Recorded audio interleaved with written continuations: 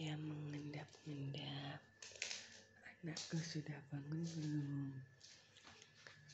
Mengendap-endap. Kecik susah metune aku kagak urutan.